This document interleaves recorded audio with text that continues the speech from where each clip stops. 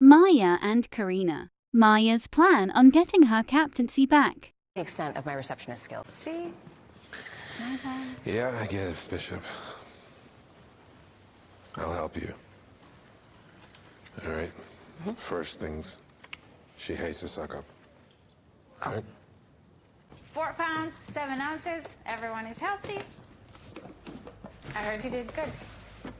Yeah, I, uh... Really like your surprise. Oh, but I...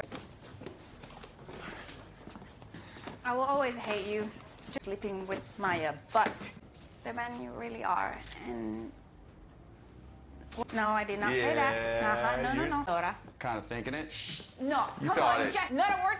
You know, I guess it might be weird, especially when I get reinstated as captain. Like, line up in 10 and I want your sperm on my desk by lunch. And what if you don't get your captaincy back?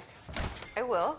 So, whoever this person might be, you want that somebody to be in the baby's life? You know, I don't think I ever thought about it like that until just now. But, you know, look at what happened with Miller. I mean, my job is so high stakes and high danger. If something ever happened don't to me, you I am just saying, God forbid something happened to me. I don't want to leave you alone. So you want a third parent? No, no, no, not a parent. Exactly. He could be like an uncle. Okay, there is something I have to tell you. Uh, Jack offered Offered what? his sperm.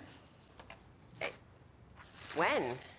It was practically a joke. He was like, "Oh, I have extra if you need some," and he took it immediately back like it's a dumb thing to say. Because it is. Exactly. Thanks for watching.